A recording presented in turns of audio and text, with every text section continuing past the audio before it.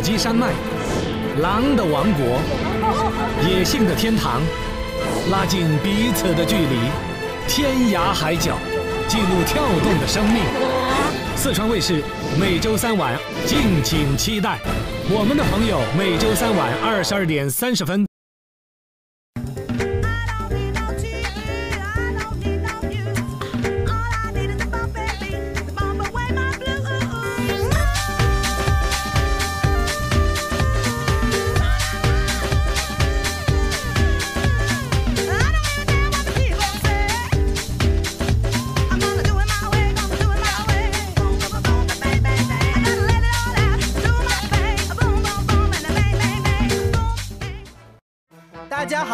欢迎收看四川卫视《我们的朋友之宠物的秘密生活》。我是宠蜜家族队的领队洛奇。为致敬奥运精神，第四届动物趣味运动会火热进行中。在首轮比赛中，我们艰难击败对手哥斯拉队后，又遭遇了不择手段的恶霸犬阎王率领的球球队。猪猪在大胃王对决赛中意外落败，受伤的王子在耐力赛中被我的妙招激发出惊人的潜力，惊险胜出。究竟我们能否战胜阎王带领的球球队呢？宠蜜家族继续为荣誉而战。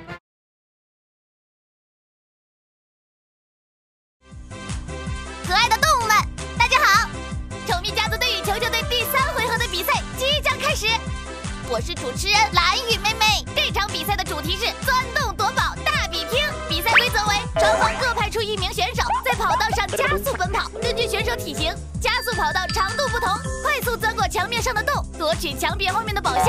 先打开宝箱的选手获胜。当然，宝箱里藏着什么秘密呢？打开它自然就知道啦。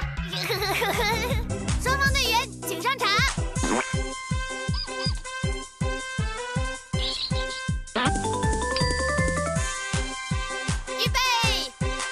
Bye.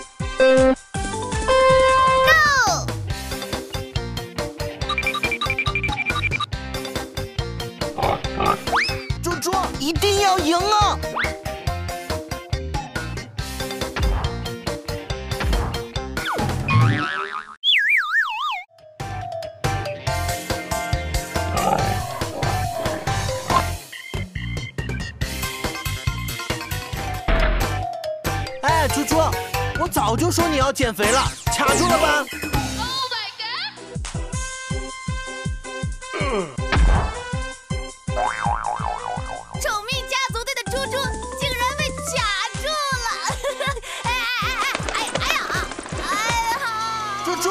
给我钻过去！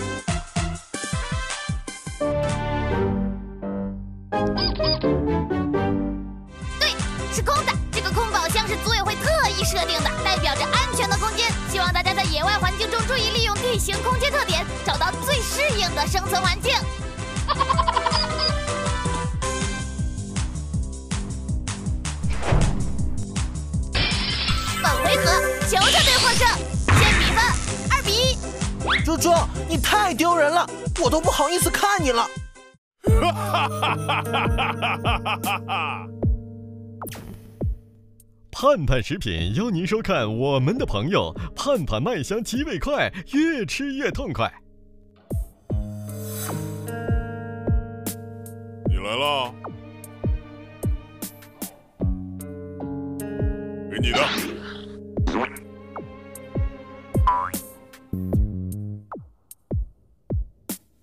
下一场你赢一回，我想和那猴子玩玩。好好演，有你的好处。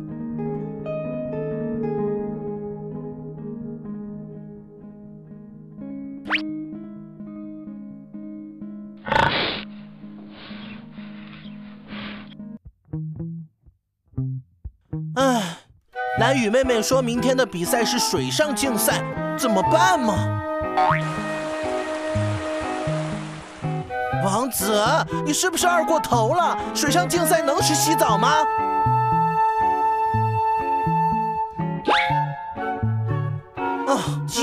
讲，安娜，要不还是你来吧。都这个时候了，你们竟然还找理由，真是太让我失望了。也不能怪你，你这么胖，钻不过去也是正常。真的吗，猪猪？既然你这么有担当，那我明天就进行水上特训，给他们点颜色瞧瞧。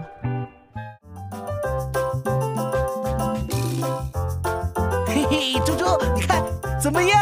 这是我为你特别定制的训练计划。虽然我知道狗狗天生都会游泳，但是为了保险起见，水上特训还是要进行的。嗨呀，猪猪，你还敢反抗，还敢不听指挥？啊啊！别想跑！我咬，我咬，我咬你的猪耳朵！热身时间结束了，我们一起动起来！给我下去吧你！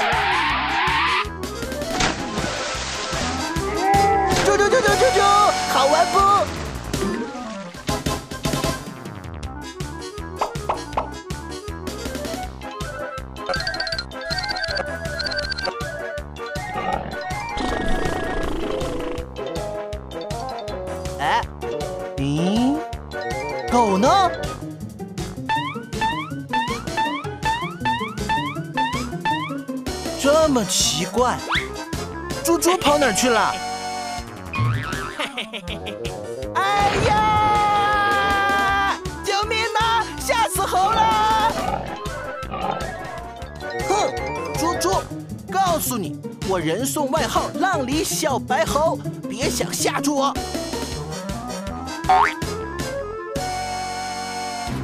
不信是吧？让我给你表演表演，看好了。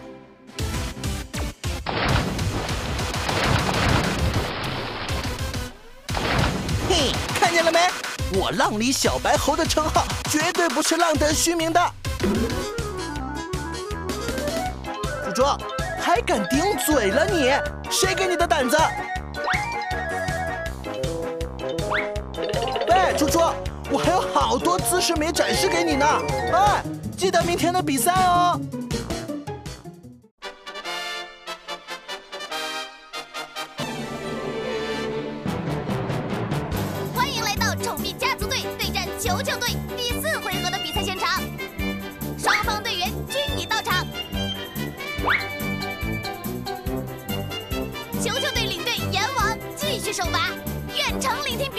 臭猴子，陪你玩。这一回合的比赛为水上夺宝大作战，参赛选手需同步从跳台跳入水中，游至浮板，冲刺到中央平台，率先按下按钮者获胜。猪猪，看吧，这比赛对你没难度。加油加油！猪猪，你一定能赢的。这场比赛就看你的表现了。二号鼠，给我上！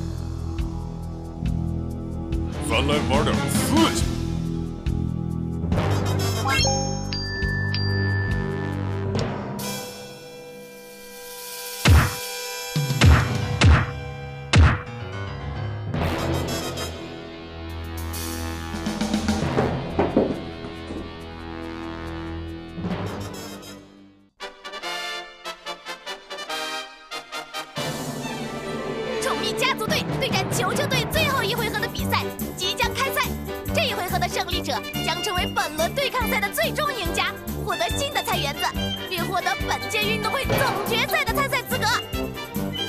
为了荣誉，为了菜园子，大家拼了！和你们玩，看谁赢。这一回合的比赛是追踪大作战，鼠类天生善于藏匿，而狗狗天生善于寻找。本回合为团体赛，比赛时长一个小时。球球队提前躲藏，宠蜜家族队进场寻找，范围为整个公园。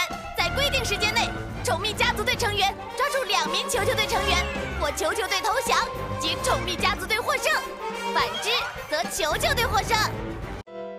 蓝雨妹妹，我有个问题想问问你，你怎么能知道比赛情况呢？让你看看我的团队——开始后，他们会分布在赛场的各个角落，随时向我汇报情况。赛场上的一切都逃不过我的眼睛。侦查员，出发，各就各位。原来是这样啊！蓝雨妹妹，你太厉害了！球球队出发。一号鼠、二号鼠、三号鼠，给我藏好了。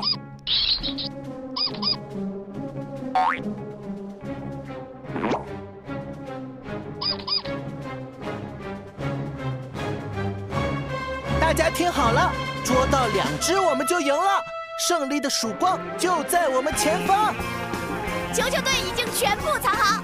好，宠蜜家族队出发。大家出发！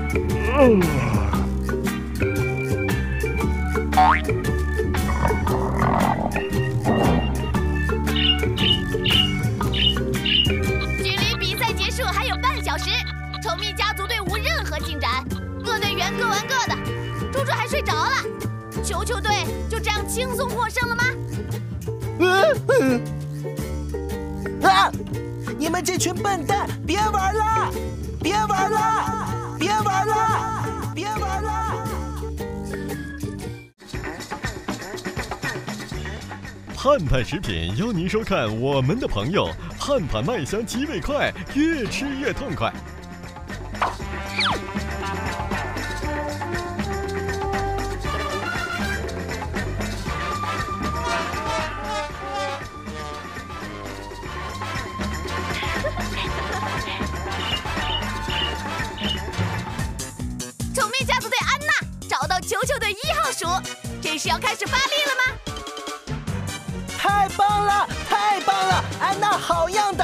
去就给你买新衣服，耶耶耶耶耶！哈哈哈哈哈哈！蠢货！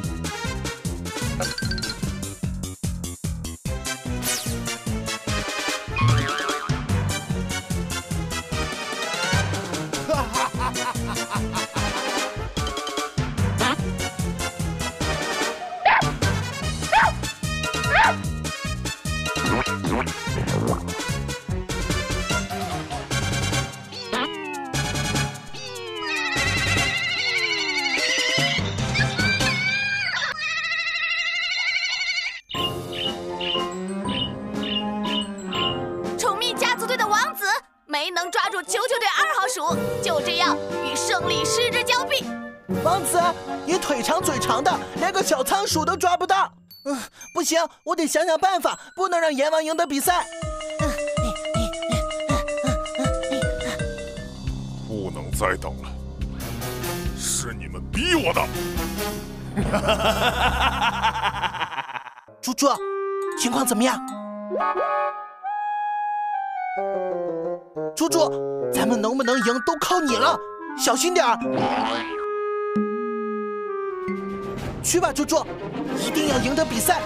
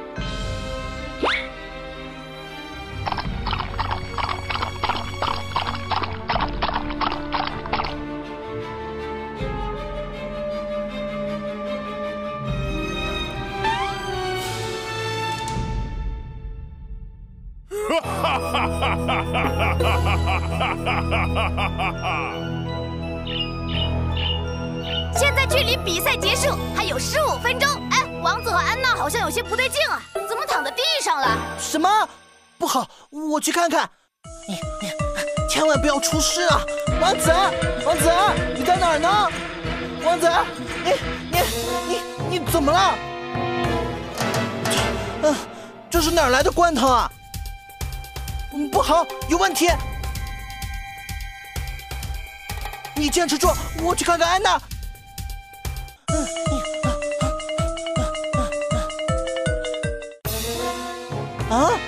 这也有罐头，味道不对呀、啊！没事，安娜，有我在，不怕啊！你别说话，我给你揉揉。别担心，好好休息，我有安排。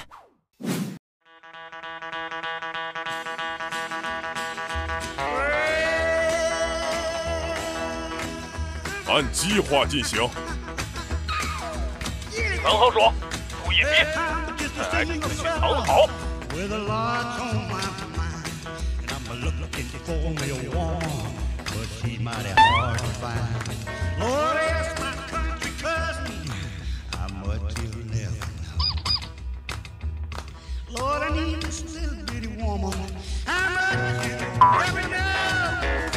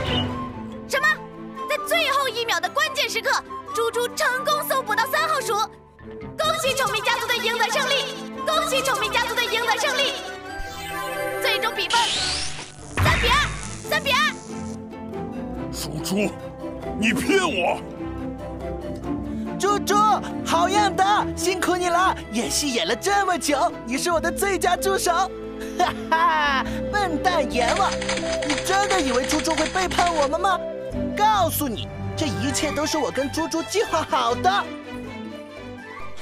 猪猪，去玩吧，以后你就是拉拉队长。我得查查阎王到底是什么来头。嗯，恶霸犬是斗牛犬的分支。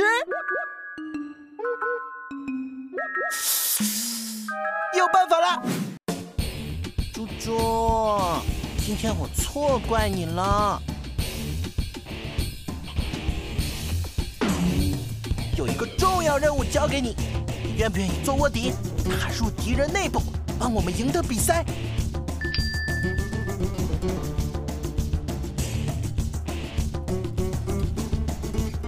我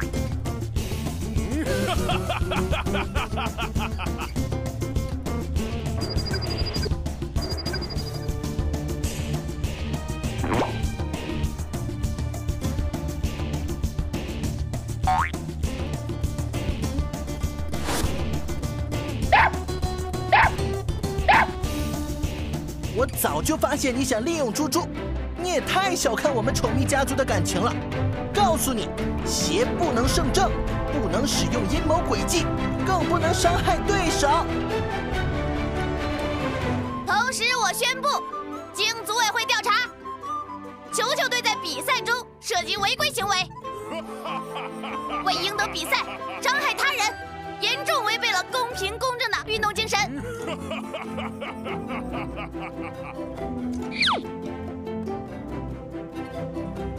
决定，即日起取消球球队比赛资格，并对阎王领队提出严重警告。宠蜜家族，我会回来的。蓝雨妹妹，是真的吗？取消球球队的比赛资格？对，就应该这样，不择手段的行为绝不能姑息。经过这一轮的比赛，我还想告诉大家，体育竞技讲的是公平公正，任何投机取巧的行为都是不可取的。猪猪，你太棒了！这一路比下来，我其实都是心惊胆战的。你不愧为最佳影帝，以后有机会还会找你的。哦，在动物趣味运动会第二轮比赛中，猪猪扮演了一次双面间谍，并在决定胜负的追踪大作战中起到了决定性作用，让我们赢得了最终胜利。下周我们将迎来最后一个对手龟仙队，请继续陪伴我们征战第四届动物趣味运动会。我是宠蜜家族队领队洛奇，我和宠蜜家族来到这里，在带给大家欢乐与幸福的同时，还想告诉大家，我们是人类的朋友，希望大家都能关注我们、爱护我们、保护我们、关爱我们的野生朋友，拒绝伤害，人人有责。四川卫视微信公众号宠物视频上传分享开始啦！扫描屏幕下方二维码，关注四川卫视公众号，你也可以将你爱宠的精彩视频上传给我们，就有机会在节目中与全国观众分享宠物带给我们的快乐与幸福。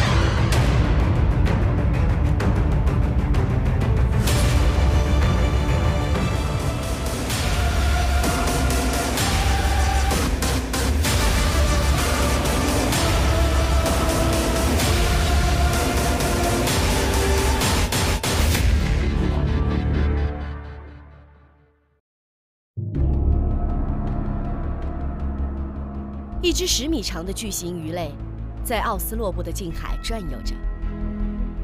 这个前半身像鲸鱼，后半身却像鲨鱼的大家伙。人们快速地划着船，密切地注视着它。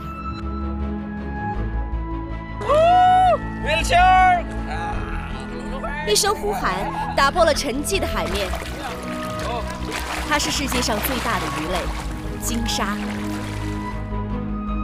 巨大的鲸鲨就像被施了魔法一样，着迷地跟着渔船。这些濒危动物鲸鲨的出现，在一夜之间让菲律宾一个小渔村换了个模样，变成了全世界的人都羡慕的村庄。这个小渔村瞬间富裕起来了。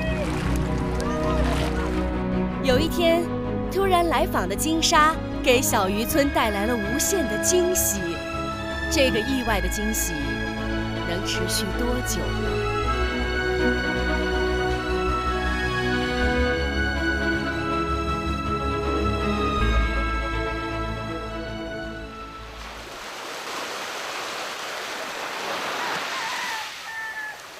奥斯洛布的小渔村位于菲律宾宿务的南部，因为这里有金鲨出没，世界各地的金鲨迷们都慕名而来，让这个原本安静的村庄一大早就开始忙碌了起来。这时，金鲨迎着海浪缓缓地游了过来。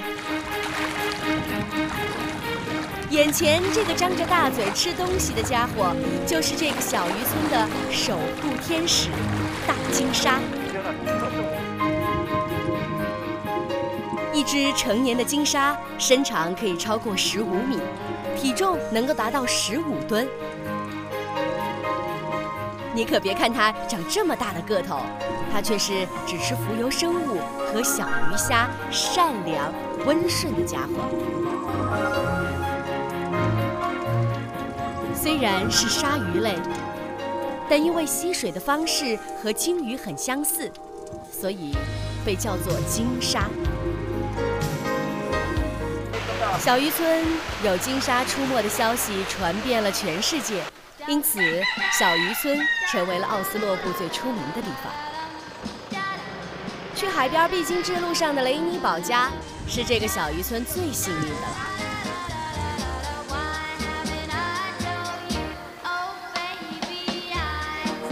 老板雷尼堡每天的工作就是开心地数着游客的人数。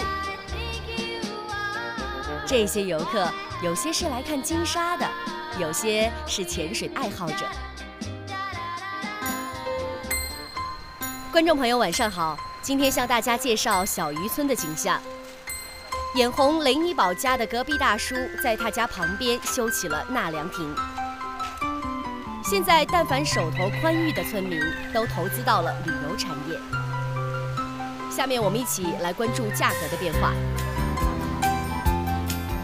有些人挂出了低于雷尼堡家的价格，看来低价格还是很有吸引力的。游客们径直走向了隔壁。这红火的行业到哪里都是竞争。可竞争在熟络的村民之间，好像也不影响什么。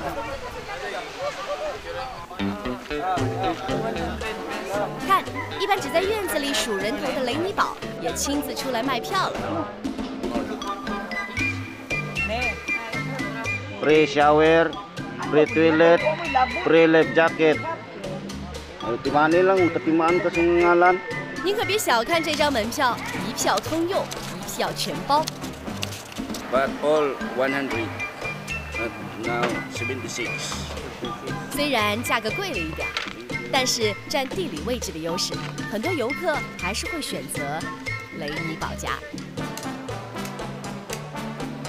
这不，雷尼堡家又在扩建停车场了。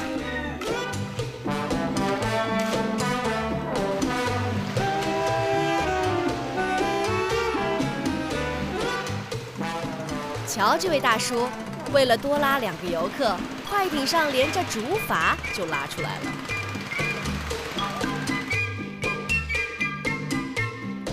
以前全村一起经营金沙旅游业，随着游客的增多，现在分成三家经营。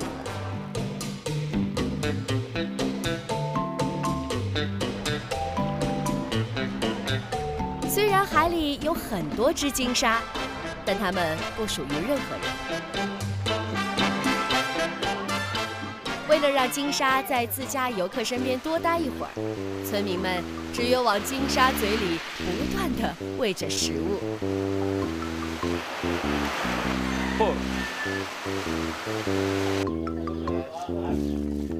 磷虾的消耗比以前更多更快了。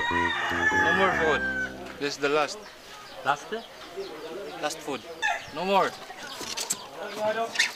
Only ice. 随着时间的流逝，村民们因为金沙开始犯愁了，因为海里的磷虾基本被捕捞完了，金沙的食物开始告急。那天晚上，渔民们为了解决这个共同的难题，又聚在了一起。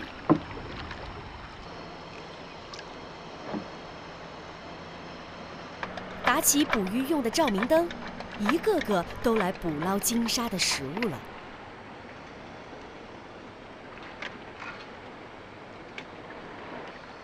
渔民们一次又一次的打捞着，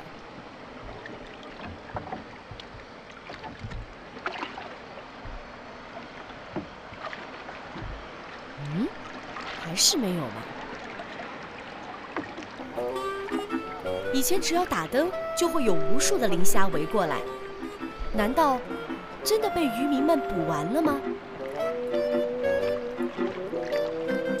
为了一探究竟，我们摄制组决定潜入海底，帮渔民们看看这些磷虾和浮游物到底还有没有。海葵就是浮游生物的标志物。在它旁边打起灯光，却只有少量的浮游生物聚了过来。要是六个月前在水下打灯，浮游生物多的根本看不见前面。为了让金鲨能够多逗留一会儿，无节制的捕捞磷虾，现在出问题了。这小小的鱿鱼，它的主食也是这些浮游生物。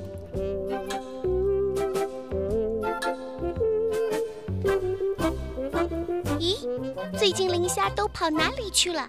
看来只有找其他的吃了。咦，呃，这个树叶哦，不不不不不，这这个长得像树叶一样的鱼也是吃浮游生物的。原来海底啊，除了鲸鲨，还有这么多的鱼类都是靠浮游生物生存的。鲸鲨用这种方式来告诉人们，看似取之不尽的资源，如果一味的索取，总有一天资源会枯竭，让人们措手不及。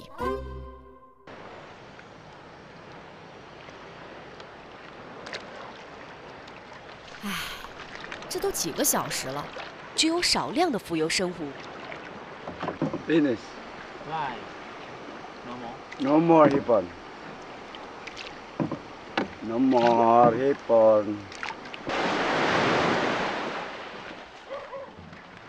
在海里搜索了五个小时之后，村民们终于收工回家了。今天的收获只有这么多了，还不到金沙吃两口呢。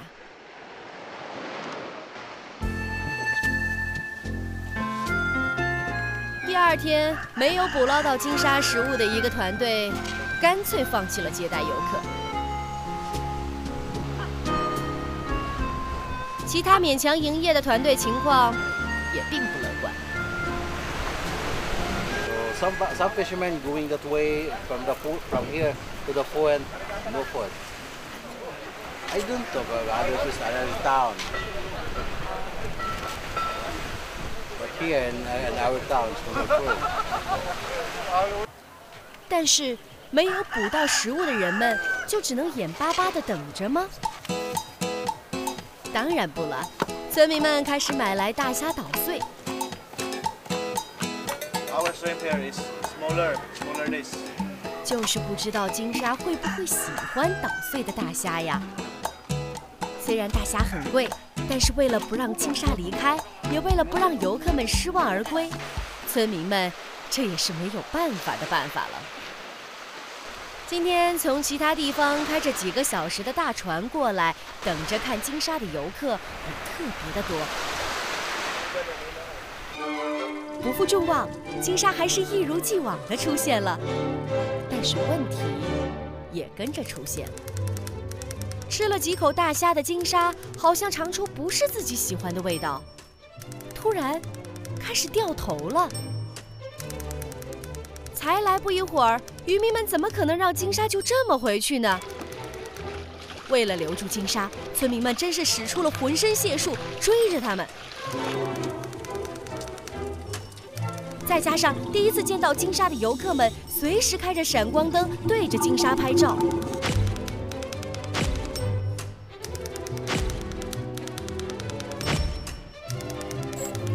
虽然这些金沙跟人类非常的亲近，但被这么多人跟着拍照，对他肯定是有很大影响的。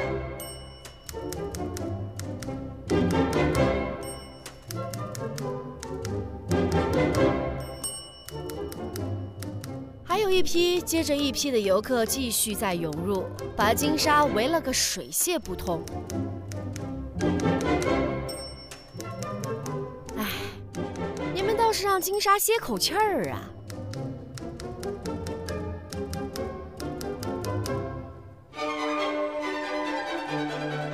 因为缺少管理，有的游客甚至还会动手去摸金沙的鱼鳍。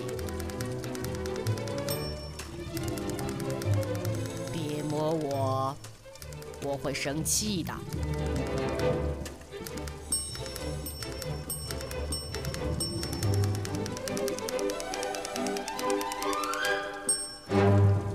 有时，快艇为了躲开拥挤的人们，还会撞上金沙，给金沙带来了伤害。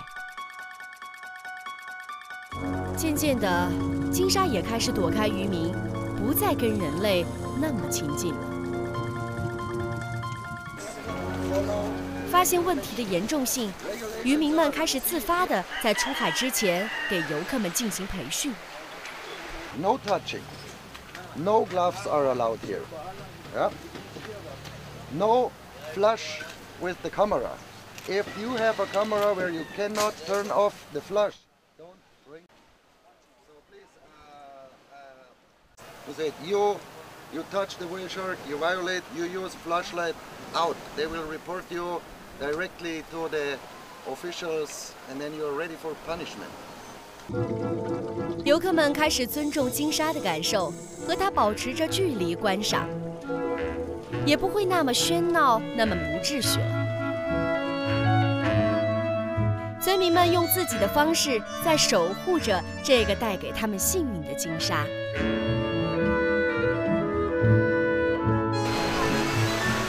但有些问题不是一两天就能够发现并且解决的。人们变得急躁了，在天气不好的时候，村民们即使冒险，也依然想出海挣钱。但这些冒险在金沙到来之前都是从未出现过的。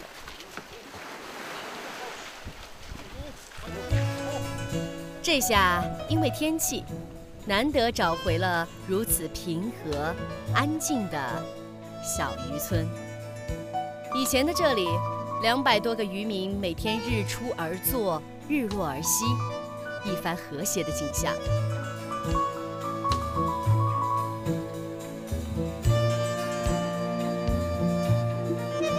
虽然大海不足以让所有的村民富裕起来，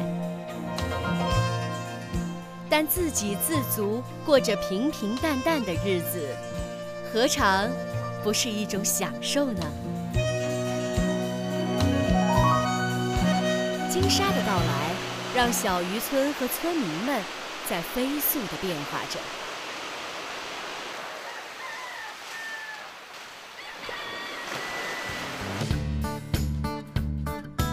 太阳依然从海的那边缓缓的升起。因为是周末来看金沙的游客比平日还要多一些。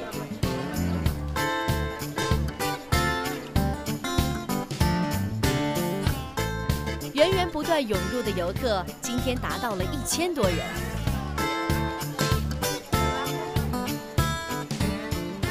以前空荡荡的街道，现在都停满了汽车。为了满足游客更多需求，村民们甚至开启了饭店和纪念品专卖店。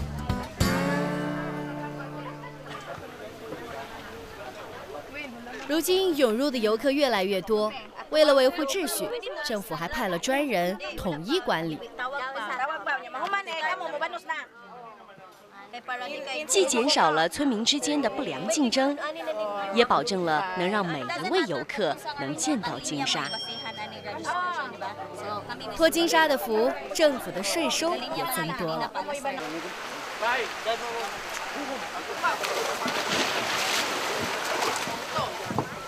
在忙碌的人群中，我们一眼就看到了十二岁的乔治。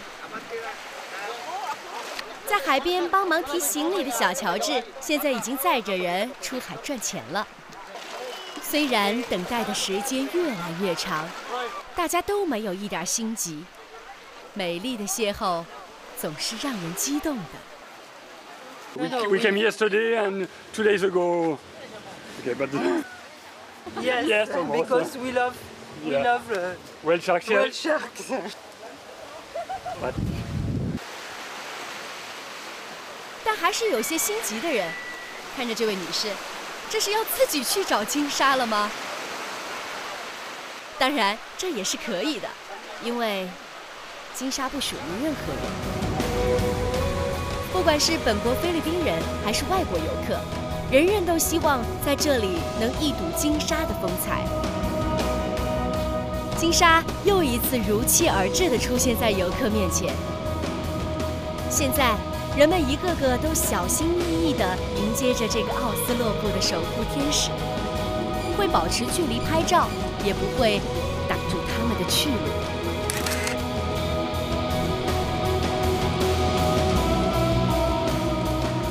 哇，这么近距离的看金沙，一定很壮观吧？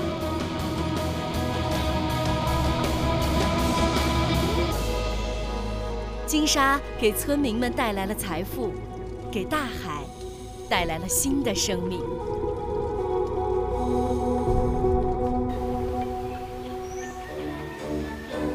但人们的欲望是无止境的，新来旧去，祖辈们留下来茂盛的椰子树，再也找不到了。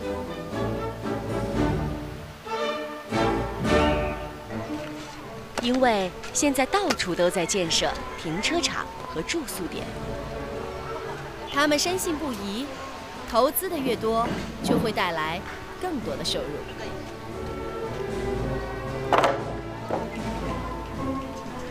村民的生活水平提高了，他们对娱乐生活也有了追求。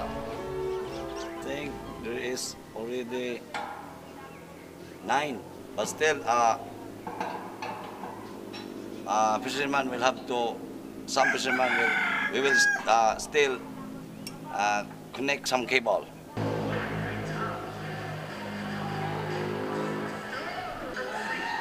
可凡事都有两面性，有好的一面，也有不好的一面。十二岁的乔治一到晚上就会来这里和朋友们打球。哇哦！本该是念书学知识的年纪，现在却习惯了白天在海边赚钱，晚上在外面玩耍的生活。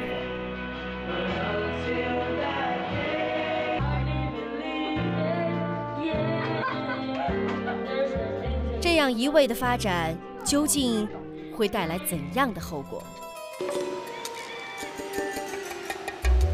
和往常一样，天才刚亮，已经有这么多人等在海边，准备出海了。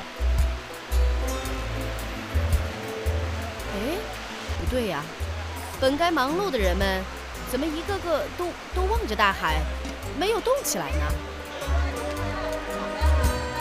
？no, no shark. Ah, two hours. You think this shark is coming today or not? 出乎意料的事情发生了，寻找金沙的船只已经出去了几个小时了，依然没有发回金沙出现的消息。可仔细想想，金沙本就是按季节迁徙的动物，它一直停留在一个地方，那才是奇怪的事儿呢。几个月以来，每天都会出现的金沙，突然就消失得无影无踪了。这让村民们都不知所措起来，就连这个远道而来的大型游艇也只能乖乖的原地等待。大家开始你一句我一句的闲聊起来。Whale shark. Whale shark coming, 8 o'clock.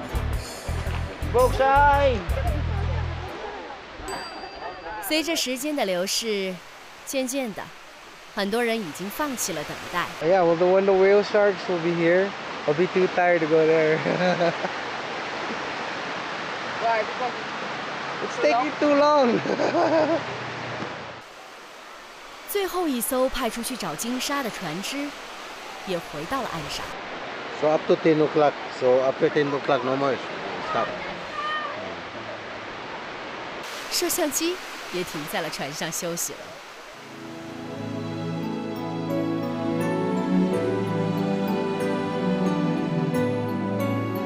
金沙，你究竟去了哪里了呢？你是永远不回来了吗？等待了几个小时的游客也只能退票，失望而归了。如果金沙再也不回来的话，这个村庄又会怎么样呢？Also me, because no more business. Business will be bad because no more guests coming because no more whale.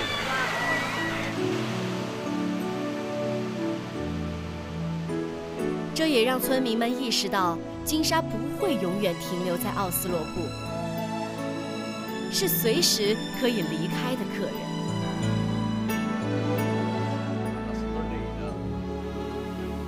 the whale shark disappear. So it come back Sunday. So I'm so happy it come back Sunday. yeah, that's why we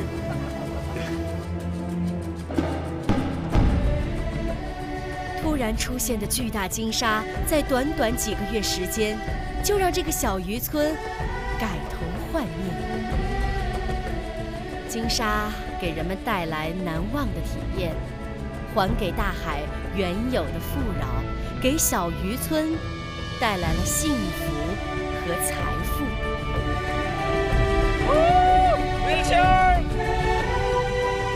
金沙用短暂的离开告诉了人们，幸运就像海市蜃楼一样。